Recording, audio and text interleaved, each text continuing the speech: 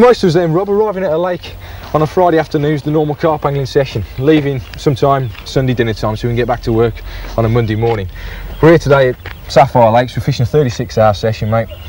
What's the going situation? You fish the lake a lot. Tell us a little bit more about the lake. Well, for a start, the weather conditions are looking pretty good.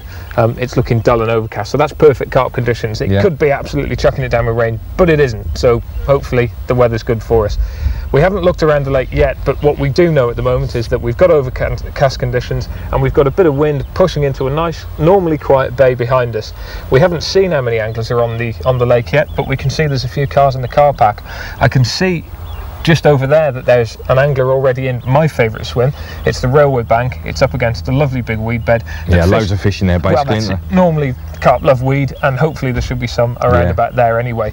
This swim's free, so it gives us just a little bit of scope towards there? Yeah. I know from past experience when I've fished this water, there's a there's a lovely gravel bar there, that, that runs between the two islands. I mean, the swims on that sort of bank, fishing across the back of that island, uh, across the back of the gravel bar, I should say. There's always a lot of fish in that area there because there's no fishing area, isn't there, at the back? That's it. Yeah, over on that side, nice, quiet, far bank bushes. Nobody can get anywhere near it. They have to fish it from this side, and again, as you say, between the two islands, we've got gravel bar. So feature-wise, bit of a quiet Loads area. of features in basically. weed, gravel bars, Mm. you name it, we've got it. We've just got to find some fish. We've got 36 hours to do it. So then, Rob, that's okay for us. We know this water. We've fished it on a couple of occasions before. I mean, what about turning up on a Friday evening? You know nothing about this place. You know, you've never visited it before. What? How do you go about choosing which swim to fish? Well, again, look for visual features.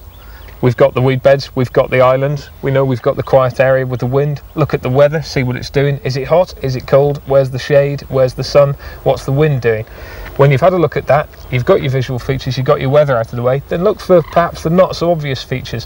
What's the bottom going to be like? We don't necessarily know, but we can see where there's weed, there Yeah. must be silt. Weed doesn't go in gravel.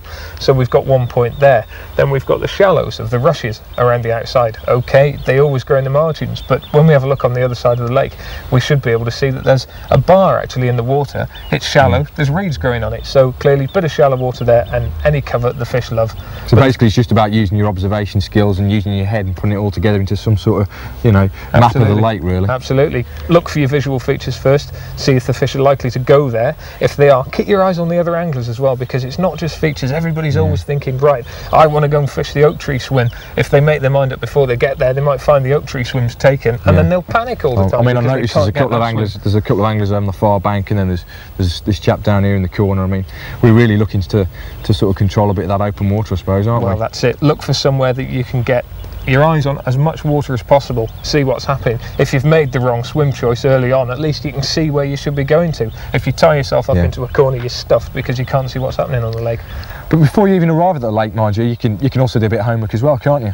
Well, absolutely. The first thing you do is you ring the venue up. If it's a commercial venue like Sapphire, ring them up, find out what's happening. Where are the fish coming from? What exactly are you going to if you've never seen it before? Is it a sand pit? Is it a silt pit? Is it a natural lake? We know this one's a gravel pit for a certain type of gravel, so therefore it's only going to be a certain depth. So we can hmm. find out that information immediately. The other thing is look in the weeklies. In Carp Talk, you've got the daily water reports, sorry, the weekly water reports. Hmm. You've got it in Carp World as well. There's in depth features on all of these waters. They're popular waters, they're commercial waters. So find out as much as you can about them before we even get there and you can do your homework Basically, before you start. it's easy said and done, then, isn't it? Really. Well, that's it. You You've arrive got at the water, you've got all the information down. All you've got to do then is go and catch some fish. That's it. So we're going to have a look around the lake and we're to have a look at some of the different swims, see what's available to us. Yep. Yeah. What about this, This looks a good swim, doesn't it, mate? Yeah, quite a Few- few options on it. Yeah. Nice island, loads of weed. Got nice Loads margins in the side as well. Bit of wind pushing in. So yeah, there's quite a few options. Worth definitely worth considering. This is going to be one of the better choices, I think. Oh, well, look at this one. Loads Yeah. to fish to. You know, if you've got three rods, Yeah. you can you know sort of put one to one feature, one Yeah. to another, rather than just all in one basket. Margin, weed, island, you're there. Also, I think there's a couple of lads a bit further up there, and you're not too close to them. A bit further up, and Yeah. you know, I think they're fishing. How out- far up are they? Do you know? I don't know. A couple of swims up, I think, but there's uh, certainly there's the island there, the island there.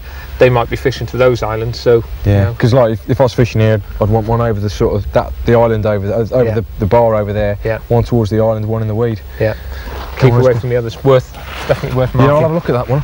I'll like the look of it. I'll make a note of it.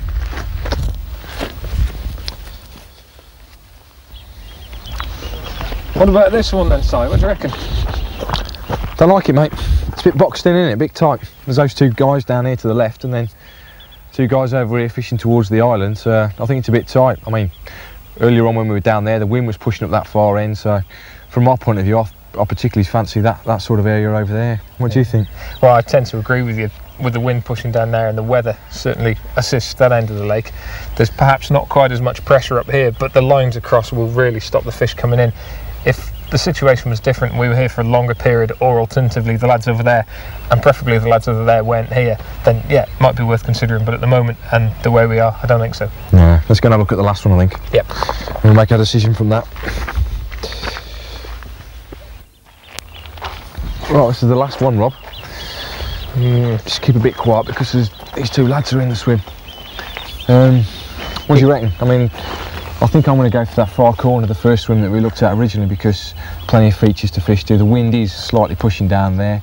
Um, there's the island to fish to, there's the weed bed to fish to. I mean, at the moment we've got all this information, we've just collected, you know, an abundance of information. We've walked around Yeah, the lake. yeah. We know that swim's a bit duff over there to the right. We know there's two lads over there. These two lads are here. Richard's in the corner. What do you do? I mean, what do you fancy? I mean, I fancy that one over there. I've just, like I've just said, but Well, that, that one over reckon? there does give a lot of options. I think, yeah, that's a good one. I think I'm going to go for perhaps an even slightly safer, come cheaty bet in that I know that the usual Hughesy way, eh? Well, if Richard's catching fish in that corner and there's a swim next to him, I can get to the same weed bed. I think I'll have a bit of that. Yeah. You know, I don't know how long he's here for, so you know, I'm going to get near to him and see what happens. But I mean, it's it's like a classic scenario, isn't it? We've, just arrived at the lake. We've got to get everything right now within the first yeah. the first few hours. You know, there's there's plenty of fish in this water, yeah, but where are they going to pick up baits? We know where they'll be. I mean, there's plenty of weed beds around the place. There's plenty of features, but where are they going to feed? Yeah. Well, Um, at the end of the day, let's go for what we can do. We can cover lots of options. You can from there. I'll grab his fish off him, Yeah. and in any case, if we get it wrong, we can always shift. Yeah. All right, Right. mate. Let's Let's, go get and the rods out. Let's go and get cast out, eh?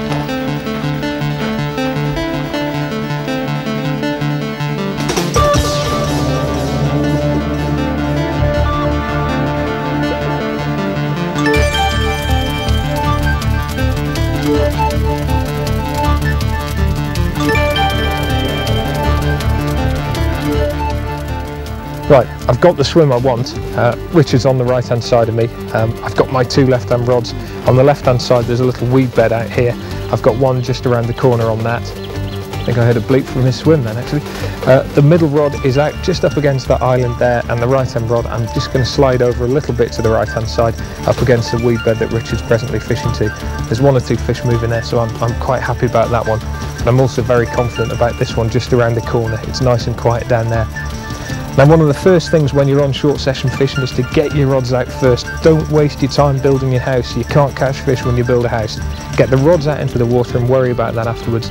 If it's pouring down with rain, fair enough. Bivy or brolly, quickly up. But the first thing is rods. We're here for fish. We want to get the rods out. So these two are out. All I've got to do now is just get this one out. Now, as I'm putting this one into the weed bed on the right hand side, I'm going to just cover the point of the hook with some PVA tape. And the way that I do that is I take the point of the hook and a little strip of PVA tape, pass the PVA tape through it, around the back of the hook and the hair as well, and then around the point of the hook. This is the difficult bit, obviously you can't have wet hands when you do that, and just keep tying it round, and what that will do is it will secure the point so it doesn't get stuck in the weed on the way through. Just give it a couple of wraps around, four or five wraps, and then all I do is just a couple of wraps around the hair, and there it is. Oh, there's a fish moving in the swim. It's perfect. That will go through the leaves. It's only very light lily pads on the top, so as the lead goes in, it's a two and a half ounce lead. It will quickly go through the weed, and you've got the hook masked by the PVA. It'll get through on the bottom. Lovely.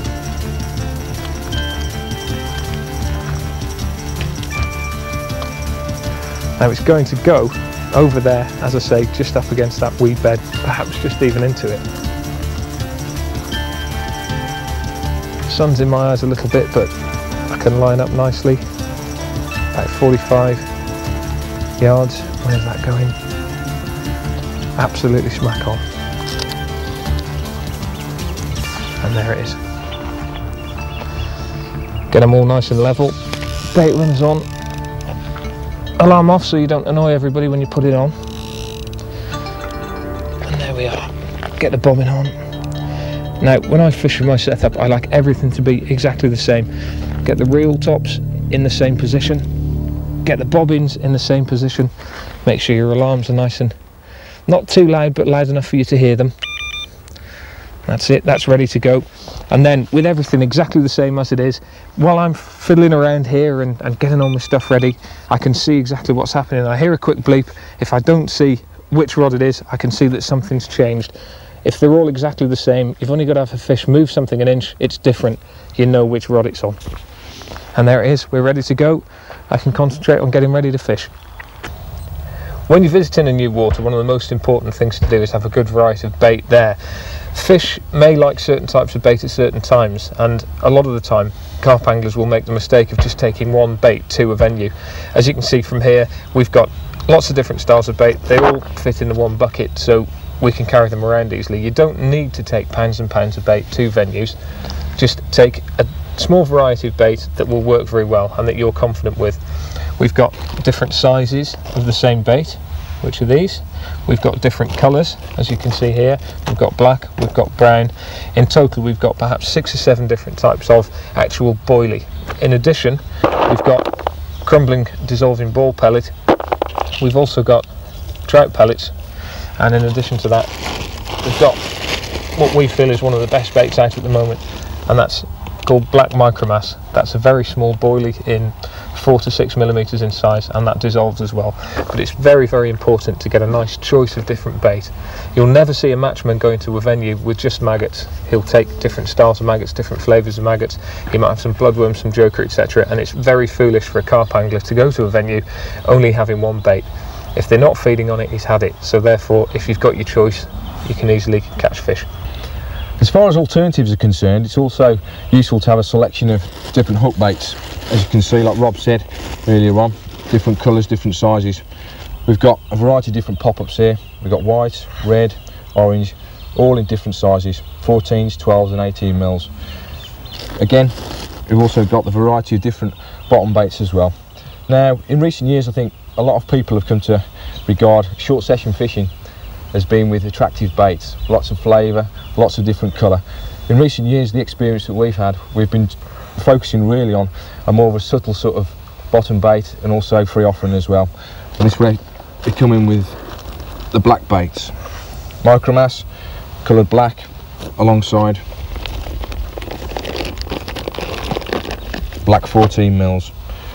Now this is something that we used to success short session fishing in the World Cup last year, 1996 and we've also been using it to success on a lot of the day ticket waters and it's what we're using at the moment at Sapphire. I've been using the black baits, Rob's been using brown baits, we've both been having success and I think it's down to the, the fact that the, the baits are more subtle than the orange and the yellows. But saying that, we do carry the orange and the yellows and the different colours and the different sizes just as an alternative. In addition to various different baits, we like to take a bit of flavour as well. It's always well worthwhile having a little extra bit of flavour um, so you can flavour single hook baits to get a bit more attraction in them. In addition, you can put them into the ball pellet. These break down after an hour and a half to two hours and a bit of extra flavour in there really helps to get that, that food message into the swim. You can put it into pellets, you can put it anywhere. So always carry just one extra bit of flavour in. This is Nash Tangerine flavour. Very successful, very good flavour that we've used to success in, in lots of different places. Um, carries very well and uh, very useful. You got one on, Rob? Have you? How's that from the wee bit? Yeah. How's it feel? It's come out of the weed okay, but it's playing around a bit in the margins at the moment. She is common. Is it? Yeah, can you grab that next one? Sure. So watch his other line. How's that? Bottom bait or something weed? Yeah, just standard bottom bait Baby. Nice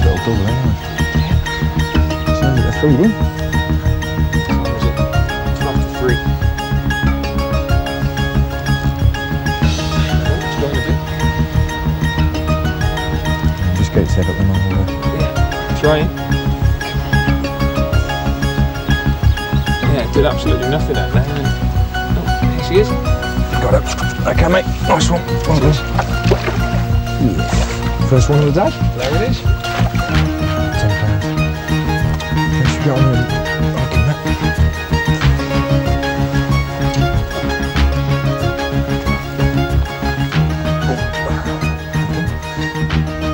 Thanks. Right, see where he's hooked. Perfect, just on the uh, inside of the scissors there. Anti-caps. No damage at all. There's the... You lift that net up. There's no need to weigh this one, is it? No. Oh, yeah. Rink's There he is. Oh, get the leaf off.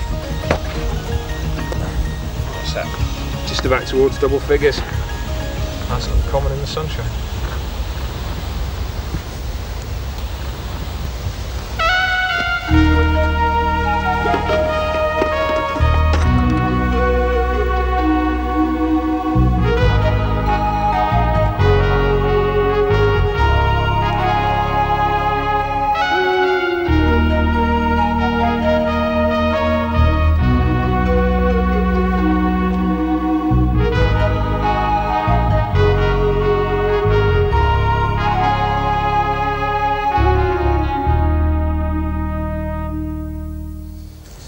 Go on, Bennett. Not another one, Rich. How big's this one? Simon, uh, this one's 25.8. 25 8. Where are you picking up these from? Straight in the weed? Yeah, from the weed bed out there. How was that today then? That's seven now Seven? from last night. What time are you leaving? Um, about half an hour. Oh, right. Well, do you mind if I'm moving straight after you then? No, no problem. Don't tell anything to Rob though, because he's bagging up at the moment, so I'll be moving in here in a minute. Okay, mate. Nice fish.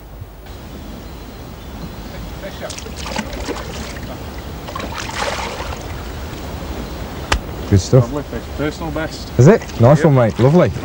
Great stuff. Right, I'm going to get my gear. 25.8. Not a bad fish at all. Right. I think a move's on the cards now. I've been in this swim for 12 hours. I've had one fish.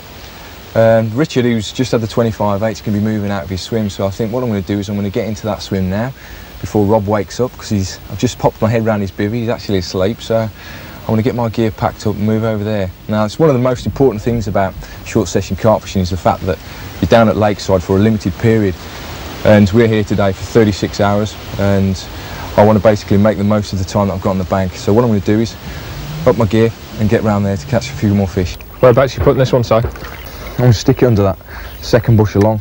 You caught a few fish from last year, didn't you, when you came down? Yeah, there's a, a bit of a hot spot there. Just a leak in these waders, mate. Is it? Yeah. Oh dear, isn't that a shame? it's getting a bit wet. Looks a bit muddy down there as well. How deep is it? You can see how deep it is. It's up to my chest. I'm I talking need to about the tell mud. you. It's lovely and firm bottom though down here. Is it? Yeah. I bet these fish get in this uh, in this margin when there's somebody not walking through there.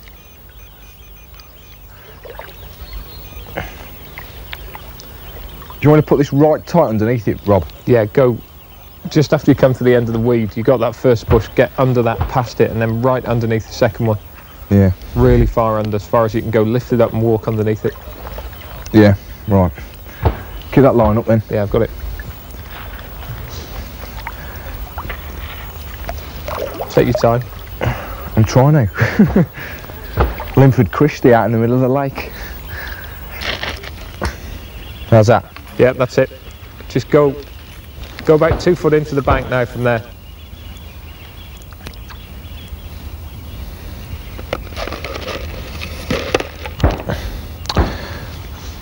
The perfect Prodding sticks pile floating away from you. Hey? Your prodding sticks floating away from you. Cheers for that. Let's just put this Right. line down. That's it. Just push it in there now and Sink it down. drop a bit of pellet on it. Okay. That's got to go, that has. See in. That's got to go. Lovely. Look at that. Lovely. Nice. Hang on a minute. Let's just sink that line. I can see it. Hang on a minute, Rob. You've got to get under the line.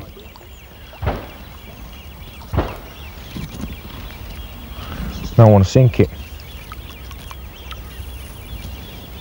That's it. Yep. Now you'll have to find the line with your feet and step over it. I will. That's a damn good point.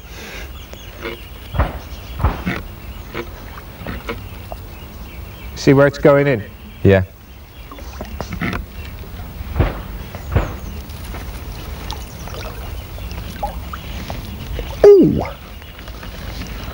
It. You should be more or less over it now. You got it? I think so. Yeah. My off it. Yeah, just lift your pole up now. That's it, you're clean. Right. The perfect feeding area. Am I clear? Bob, Sorry? am I clear? Yeah, well clear. Good man.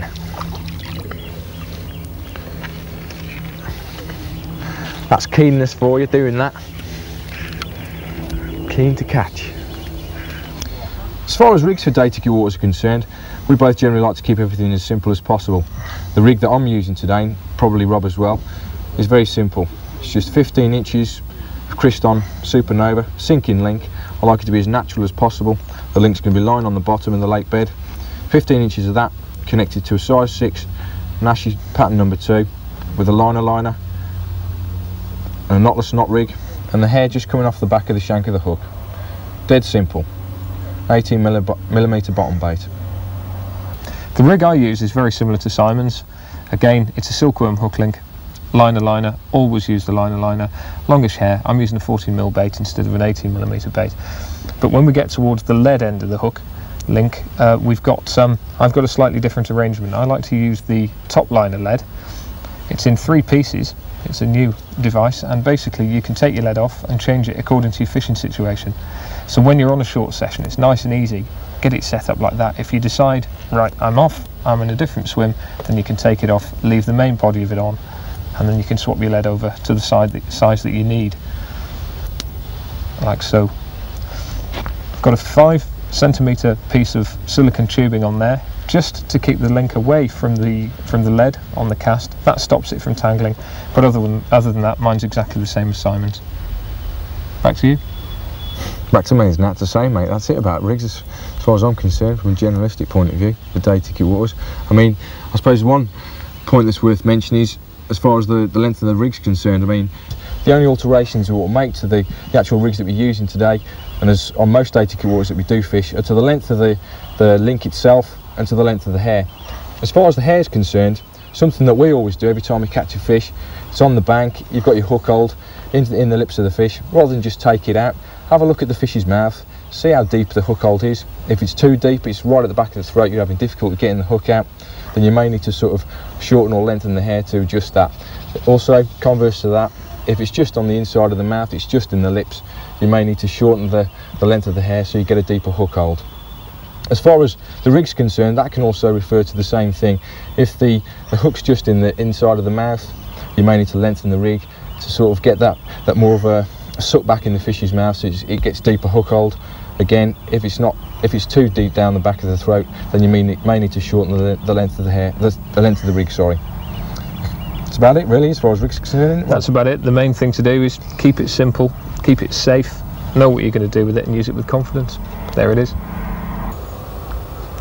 Now, one of the problems that I'm faced with is typically one of those problems that we're all faced with when we're on a short session. I moved in yesterday. I had a fish quite early on. I haven't really seen anything move since then. So the question is, do I go? Do I stay? What do we do?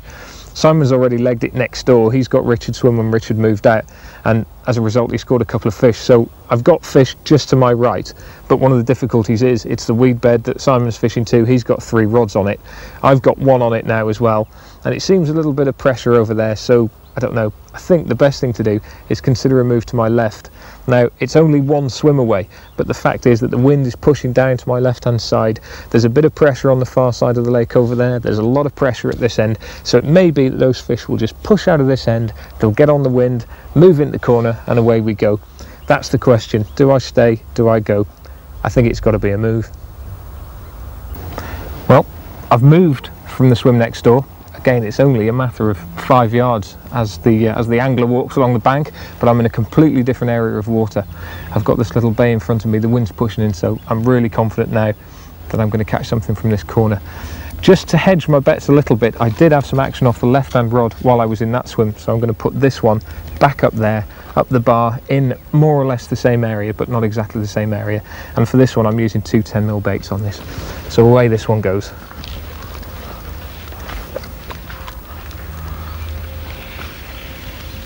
Sure it doesn't get caught in the trees.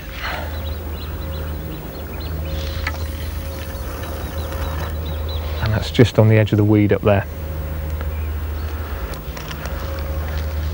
Now some of you may have noticed when I was over there that I got my tips in the air and the reason for that was that I was actually fishing into some weed quite far out and I wanted to keep the tips up and the line out of the water. Here it's exactly the opposite.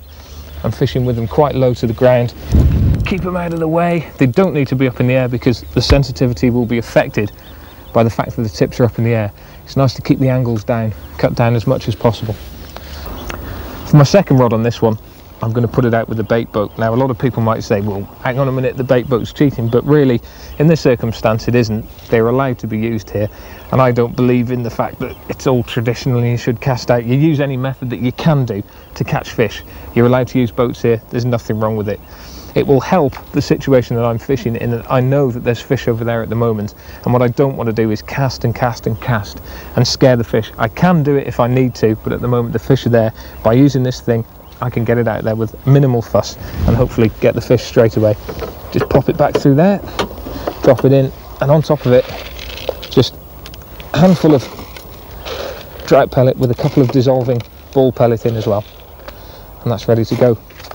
Now this one, I'll just lift it over the top.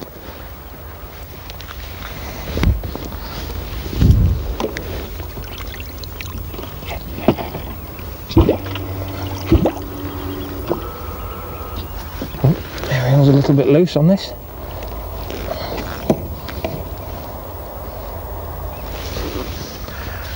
I'm going to send it just over there to that weed bed. Sorry, the reed bed. Just make sure the bail arm's open so it can take. And away she goes.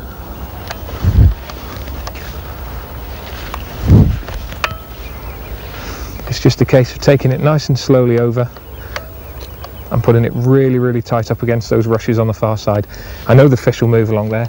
Nice little quiet bait, uh, quiet bay, sorry. And uh, hopefully that should do the business.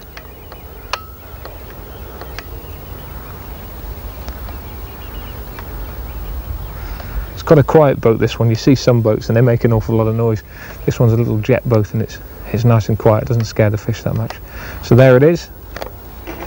And there it goes. That's in the water. Turn around and bring it back.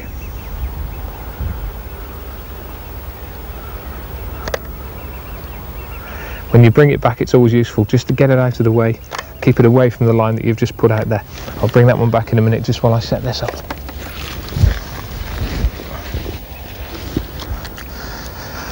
Tightening up the line slightly, not pulling the lead out of position. There we are, nice and tight. Just loosen it back. Down on the rest again, tips low to the water so I can get maximum indication and keep the lines out of the way. Clip it on, tighten up a bit more and we're ready to go.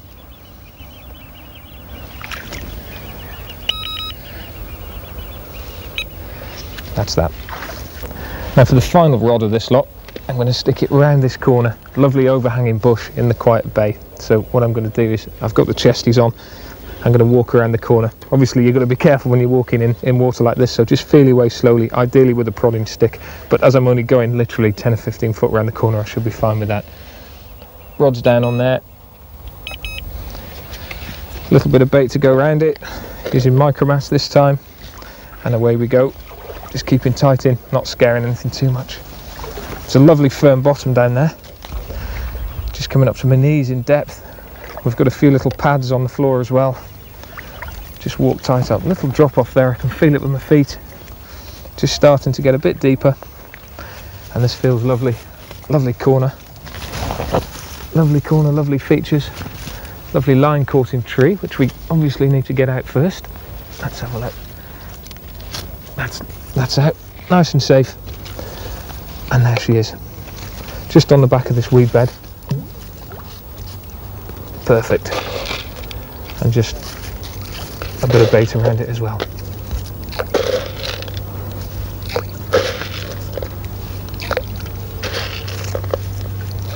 Now that one has got to go.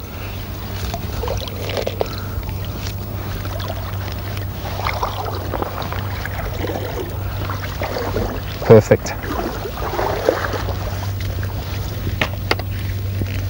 Just tighten up to it without moving the lead. Just move it round, feel it line just nice and tight to it, but without moving that lead. Click back. And that's ready to go.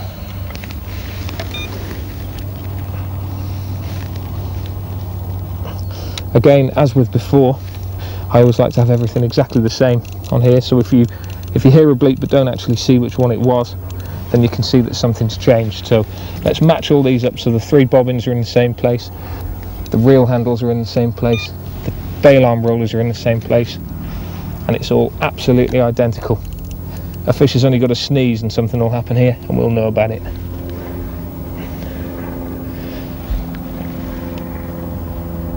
Perfect.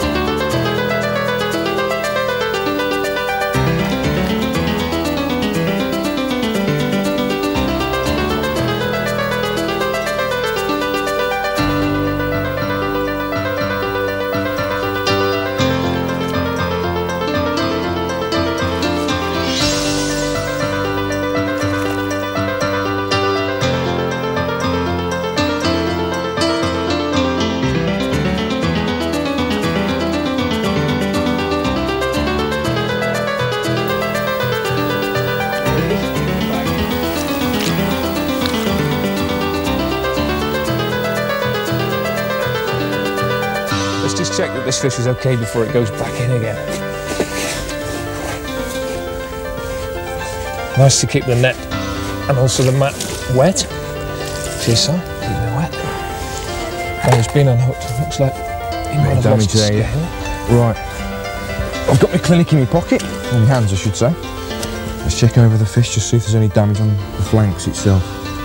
There's a scalp missed there, it's possible any sort of secondary infection could get in there into the fish, so it's always worthwhile just giving it a little coating of, a Klin-ik before you put it back. Klin-ik's basically just an antiseptic solution. Just stops any sort of fungal infections or parasites attacking any open wounds on the fish. As you can see with this fish, when we've just hooked it, there's a little bit of damage, quite deep damage actually to the fish. That sort of area could be easily prone to infection, whereby the fish will get fungused up around the mouth. Will that recover then? Yeah, it'll recover. It's uh, quite a simple sort of process the way that the fish recovers, but it's always nice from an angler's point of view that you're, you're doing some sort of good to the fish after you just caught it. Uh, that's an open wound. Just putting a bit of antiseptic solution on it will prevent any bacteria getting on the fish itself. Something else I actually like to do is when I've got a fish on the bank is just to give it a once over on the gills. Now, a fishery like this, Sapphire Lakes, which is day ticket water, you get a lot of people coming from around the country, they bring in weigh slings, wet and hooking mats, everything like that. It's, it's slightly possible that you could get some sort of gill infection in the fish itself. There's two actual gill infections that are quite common to these type of fisheries. I mean, I won't necessarily go into them. Um, one's known as dactyl gyral and the other one's called as gyrodactyl. Um, they affect the fish on the gill. Now, what you should be looking for really is a, a thick mucus sort of a type area on the gill itself. This fish actually looks all right. There's no sort of thick mucus area on it. It's slightly mucus down the bottom, if you can just see down the bottom Yeah. area there. Yeah, it's a little bit paler, isn't it? it's a little bit paler and it's a little bit more mucused up, but you know that's not a problem at all. It's just a common sort of uh, occurrence on this type of fish on this type of fishery. Let's have another look under the gill. I mean, it is important when you're actually putting your fingers underneath the gill of a fish not to yank it back too far. I mean, sometimes you can actually get away with touching the gill, the branches itself, but yanking the gill plate back too far can actually cause too much damage to the fish. That you know, certainly with some anglers, probably a little bit heavy-handed. Hmm. Um, Hmm. and then pulling it back a bit too far can actually cause it a lot of damage. Now, another thing as well, which I think is a common occurrence with a lot of fish, when you get them on the bank, sometimes the gill starts to bleed, and everybody starts to panic about the fish. Oh God, the fish is bleeding, blah de blah blah. It's it is a bad thing to actually happen because you don't want to see the fish in any sort of pain at all. Just a bleep on one of the rods then. you don't want to see the fish in any sort of pain at all, but if you do actually get that sort of problem, then it's probably better just to lift the fish back, back into the water. And it's just like a common nosebleed to the fish. Get it back in the water and within a few minutes it'll stop. This fish seems fine now, so what we'll do is we'll just return it to the water. We've given a good look over. She's fine. From a fisheries manager's point of view, if you do actually come across any infections on the fish, any sore points, any sores underneath the, the, the flanks or underneath um, the actual fins, or any damage to the actual gill plate, then just have a word with the fishing manager, get them informed and get an outside consultant in to check over the water. Let's get her back that anyway. for you. Yep. Cheers.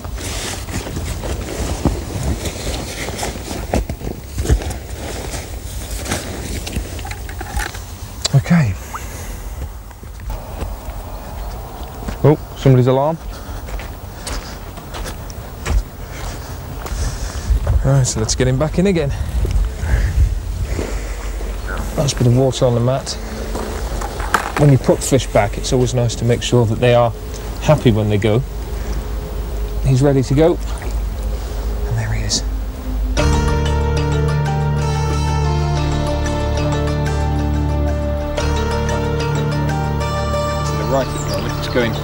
An eye on that weed. Um, I'm concerned at the moment that it's going to yeah, do exactly that.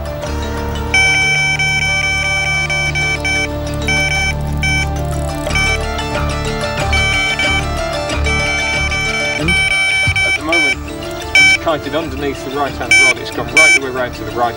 So it looks like there's a bit of a manoeuvre that I'm going to have to do, which is always interesting.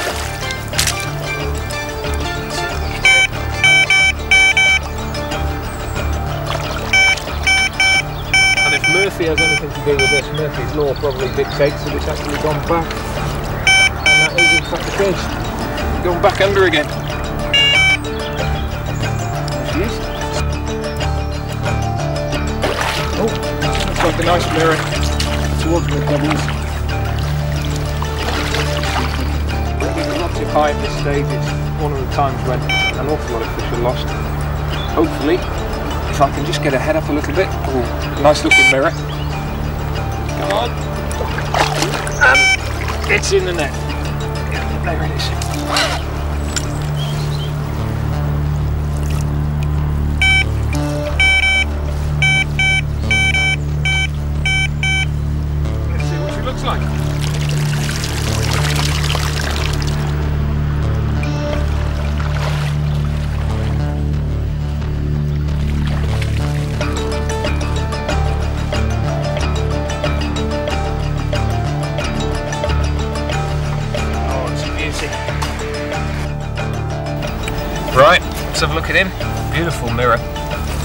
Nice and cleanly hooked in the bottom of the mouth. Strange mouth on this one. it's uh, definitely a silt feeder. It's hooked straight very cleanly in the bottom. Out it comes, no damage at all. And there he is. Let's have a look.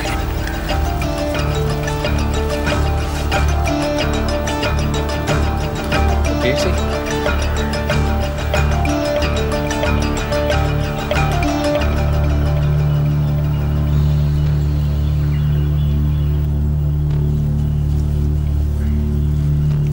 Back she goes.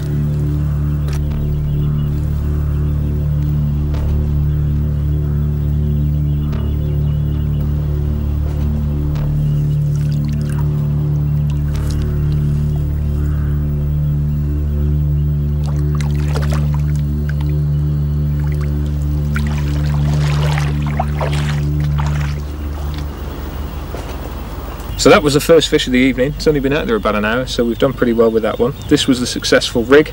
We've got two ounce terrapin lead, 12 inches of silkworm, 25 pound, and then a nice 14 mil bait. It's um, S-Mix, and it's got a peach flavour in it. Nice long hair just off the bend, and it's over on the far side, tight on the margins, a little bit of trout pellet around it, and that was it. Away it went.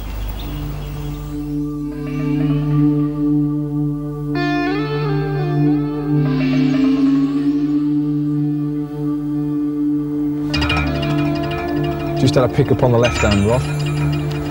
It's worth the move. Looks like a double figure common coming my way. Here she comes. Yeah. Worth the move anyway. Let's get on the scales. It's about 11, 12 pounds.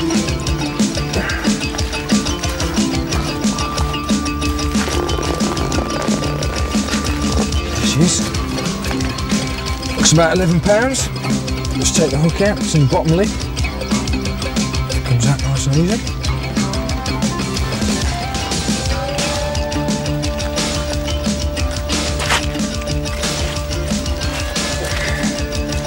It's not a very pretty fish, it's not got a very good condition mouth, but it's a carp. About 10, 11 pounds, something like that. It's what we've come for this weekend. Let's pop her back.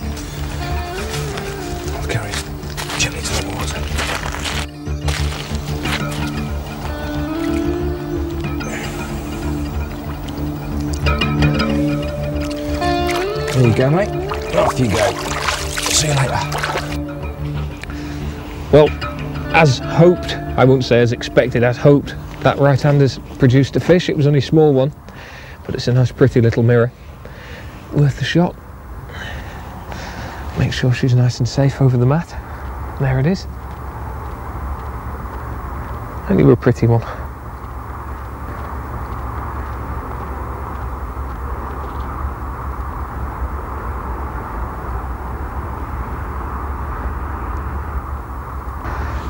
Let's get you back so you can put a few pounds on before you come back to us again. There you go. Say bye bye.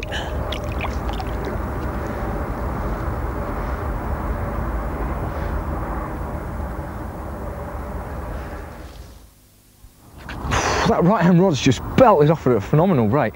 It's the one I put down under the under the bush earlier on this afternoon. It's been sat there for about eight hours.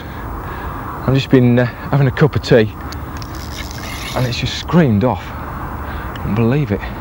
Feels like a good fish actually. Feels a bit better than uh, some of those doubles that we've been catching earlier on. I've had it in a weed bed and I've managed to get it out. Thankfully because I was sat on my rods, it came out quite well. So I could just about see it underneath the, the water there. Doesn't look as big as I thought it was going to be. Never mind, a carp. Doesn't look like I'm going to get any sleep tonight anyway.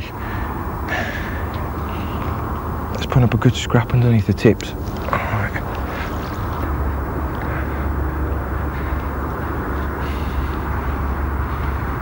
Bring it to the net.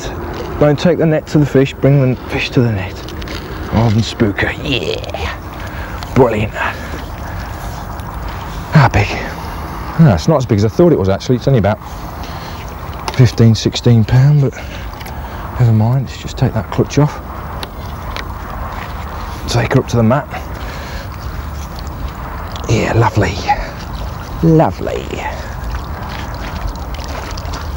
Oh. It's a bit steep this bank here, got to be careful. Oh, beautiful fish. Beautiful fish. Let's give her a check under the gills. Everything seems to be okay there. Like I said, about 15, 16 pound. Lovely looking fish. Lovely classic linear sort of scaling. It's lost the scale there. Nothing to worry about. I've put a little bit of Klin-ik on it. And she's ready to go back in a minute. How's about that? Beautiful, eh? Beautiful.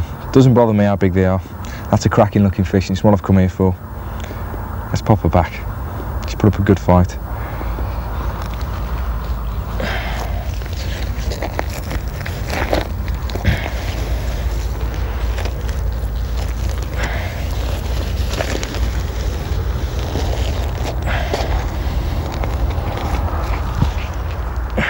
Cracking fish. Lovely scale patterns. Beautiful mirror carp. Let's put it back. There you go, mate. Go and fight another day for us. Come back when you're 20, 30 pounds. Go on. Yeah.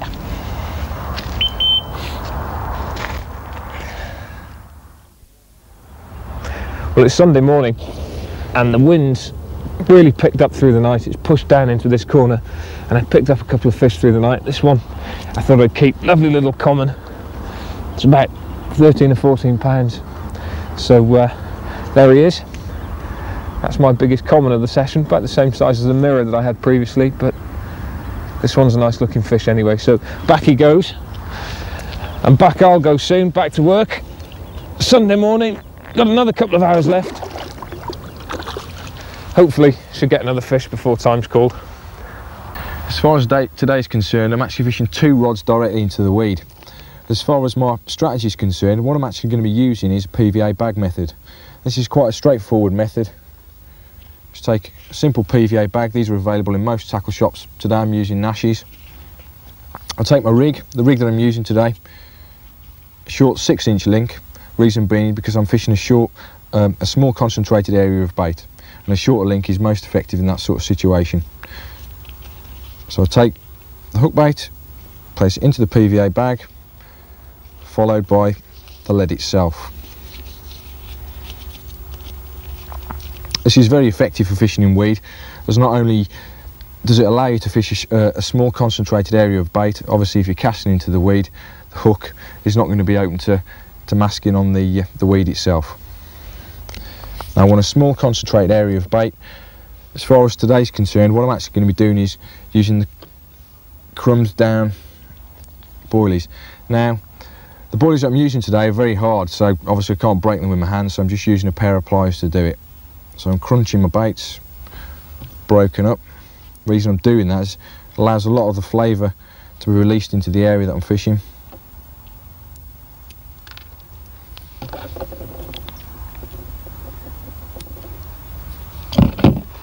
And I'm placing these into the PVA bag itself.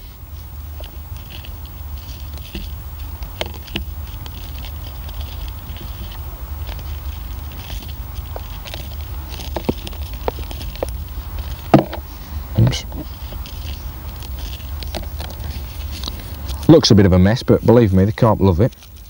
Now, just to finish off the uh, the PVA bag itself, what I do is I tie a piece of PVA string around the bag, just to stop the lead from coming out on the cast. Scissors around. No. just bite the PVA itself. tie a simple double granny knot around the around the open opening of it. Obviously when you're doing this just make sure that your hands are not moist because it makes the job a little bit tricky.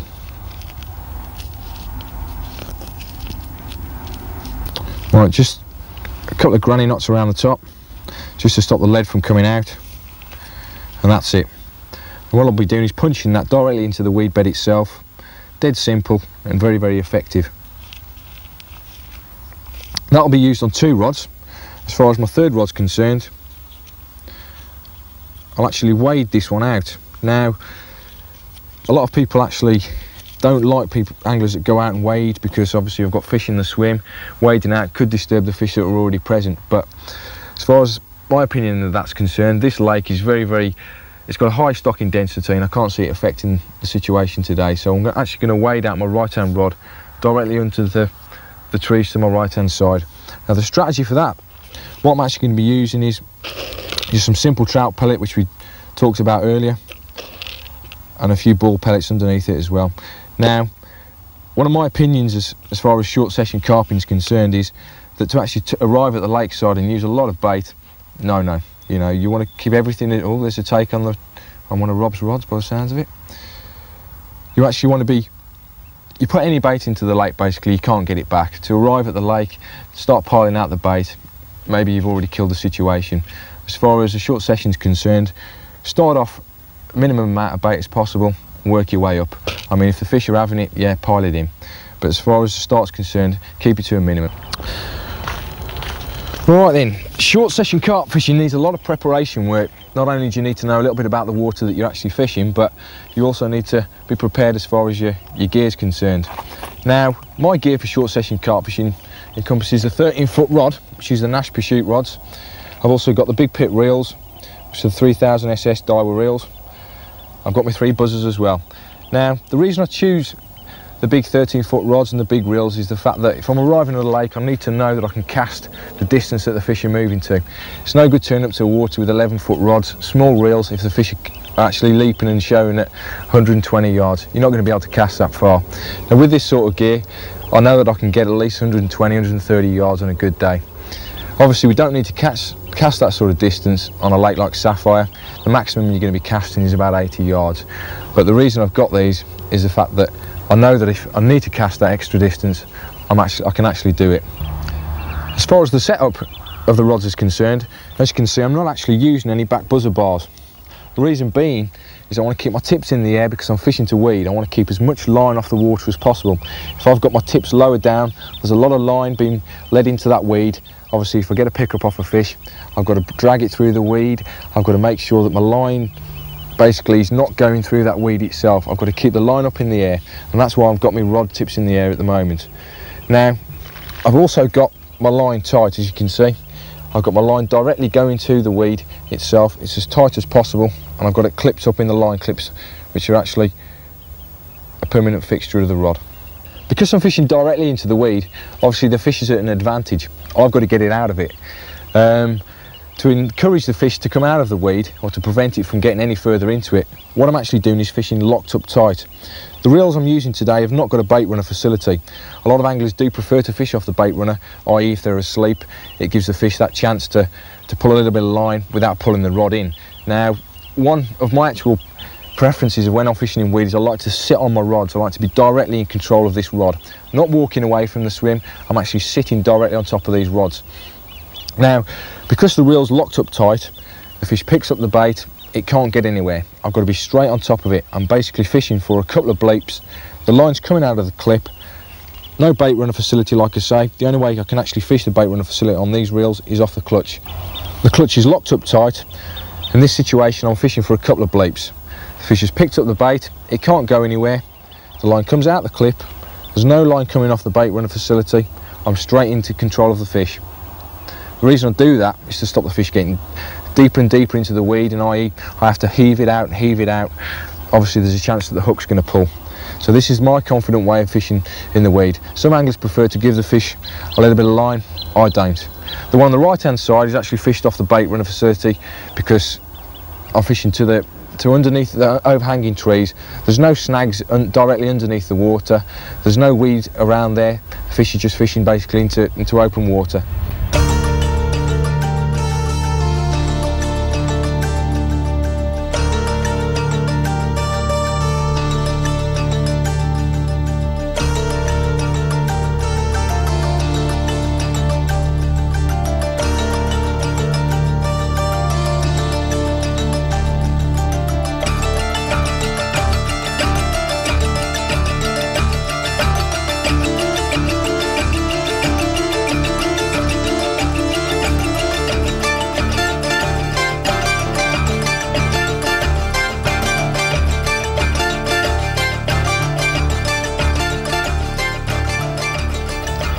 Well, there it is, mate. We've been here about, what, 36 hours, caught a few fish, had a good time. You enjoyed yourself?